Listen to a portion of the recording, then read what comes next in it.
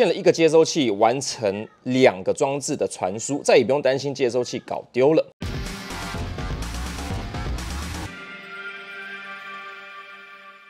Hello，大家好，我是阿森，欢迎收看本期的开箱不陌生。我们今天要和大家分享的产品呢，是罗技新推出来的矮轴键盘 G 五一五 Lightspeed TKL，究竟有没有料呢？我们开箱就知道。外盒可以看得到，上面标榜的就是薄型的外观无线游戏键盘，也就是玩家们俗称的矮轴了。这次入手的呢是中科的触感轴体，拥有的是 Lightspeed 功能呢，附带一体是二点零哦，以及资源呢是 RGB。一个掀盖的方式，我们可以看得到。左上跟右上呢都有使用说明书，以及键盘的本体有是用的一个纸包装来包覆的，走的是环保的一个路线。这样就可以看到我们键盘的本体了。八十帕的键盘，常见的 TKL 配置哦，目前推出两个颜色，白色和黑色。而我这次入手的呢是白色版本的全塑料结构。左上方三颗按键哦，无线蓝牙游戏模式，而右上方的灯饰呢分别是 Caps Lock 以及电源。开关位于是右上方的切换式开关，然后 Type C 连接处呢位于左上方，长三六八，宽一五零，高度是二十二。那键盘本身呢是有内附吸音减震泡棉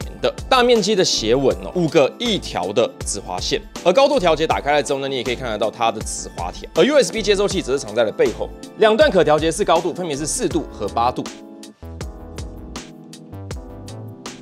重量在移除 USB 接收器后呢是八百七十克。放上去 USB 接收器之后呢，就会发现是官方号称的八百八十克了，不算是把轻的键盘了，不过重量我觉得还算可以接受，而且有一定的重量，在结构上面也比较坚固，能够兼顾打字的时候呢，键盘不易晃动偏移。和罗技自家之前推出的矮轴键盘 G 九一三有很大的不同哦，键帽呢从原本的 ABS 键帽换成的是薄型的 PBT 键帽，有良好的触感和防滑纹的表面呢，我自己个人非常的喜欢指尖碰到这材质的手感，非常的舒适。中科键帽也移除了 G 九一三中科上。看到的仓颉版本哦，使得键帽看起来呢是更为的利落。G 五一五采用的呢是罗技自家的 G L 轴体，而 G L 轴体呢总共分成三种，分别是触感轴、线性轴和敲击轴。我们这次入手的呢是触感轴，你大概可以想象成是传统的茶轴、红轴以及青轴了。而触感轴总行程是三点二 mm，触发呢是一点三，以及按压四十五克。我自己常用的 G S 键盘大约是三点四到三点六 mm，对比矮轴有很明显的触底感哦，主要是矮轴的总行程很短，几乎不会有明显要。碰到触发点的感觉，十字菊花象征着你可以更换键帽，但换上了 OEM 高度键帽后呢，就有点丧失了矮轴的打感了。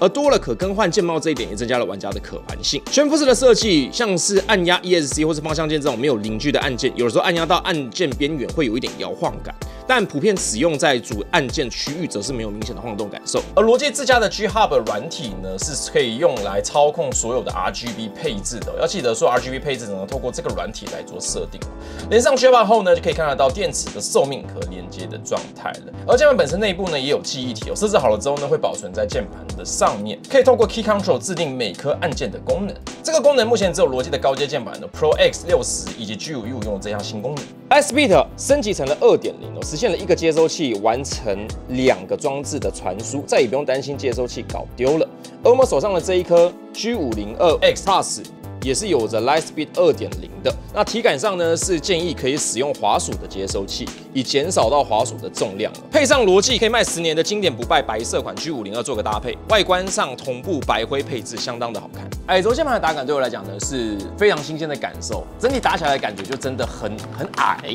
然后打起来非常的轻盈哦。那这种轻盈的手感呢，在一些需要长时间进行按压操作的游戏上面会省力非常的多，像是我的 Apex 哦，一直很常。按压着跑步配合滑铲，那这种大地图的大逃杀游戏要一直跑来跑去的，使用传统轻轴键盘呢，玩大概四个小时以上，我就会有明显的手酸的情形。主要是长压 Shift 的小拇指会有明显的乏力感，力竭后续很难办到精准的连续点放。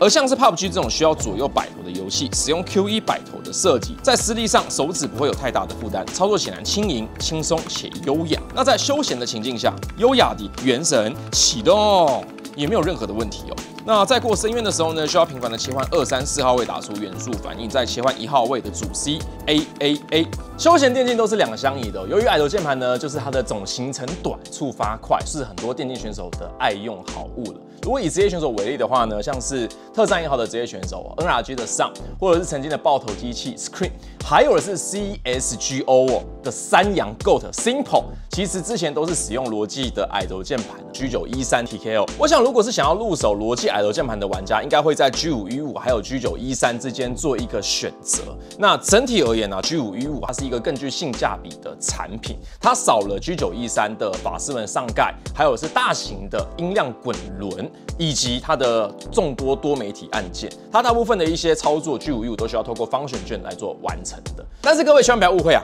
，G 五 U 呢并不是一个什么都比 G 九一三少了一点的削弱 CP 值版本的。G 五 U 呢，它移除了特规的键帽之外呢，还多了 PBT 键帽，算是给玩家们增加键帽更换上面更多的可玩性了。而且它的售价呢，也比 G 九一三来的更为亲民。如果你没有无线的需求，其实也可以考虑有线版本的 G 五一五了，可以更省一点荷包哦。我觉得罗技这次推出来的 G 五一五，算是给很多喜欢矮轴的玩家们，在市面上又多了一个更新的选择了。好，以上就是这一部影片的内容了，希望你会喜欢，也希望提供给各位想要入手矮轴键盘的朋友们，当做是一个参考了。如果你喜欢这部影片，请记得订阅并开小铃铛，以便会接收我的更多开箱内容。谢谢收看，我是阿森，